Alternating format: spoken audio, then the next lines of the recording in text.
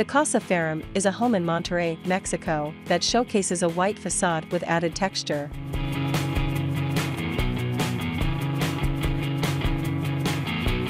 The textured facade was created from white metal pipe screens that recall the industrial origins and metallurgical history of the old town of San Pedro Garza Garcia.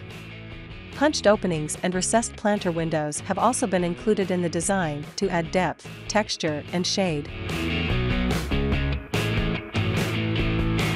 A continuous ribbon of metal pipes wraps the perimeter of the building, blending solid wall, window, and open-air screen.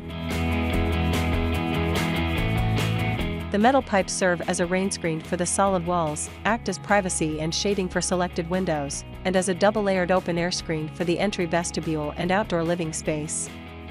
Rounded corners accentuate the flow of the exterior, softening the sharp corners created by the trapezoidal site. The white screen is contrasted by the dark bronze finish of the window frames, sliding garage doors, and pivoting front door. A cantilevered concrete ribbon wrapped in pipes provides shade to an outdoor seating and dining area. With a double-height bookshelf, the living room opens up to the backyard via two large sliding glass doors that retract into a hidden pocket. Vertical wood paneling echoes the pattern of the exterior pipe screen.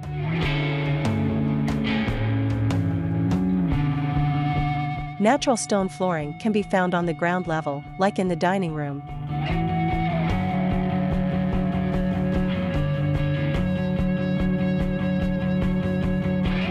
Warm oak was used for the floors on the upper levels of the home that are connected by matching stairs.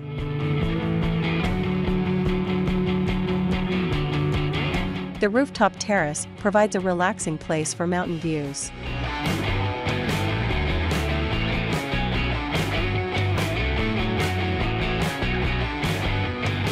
Let's take a look at the floor plans of the home.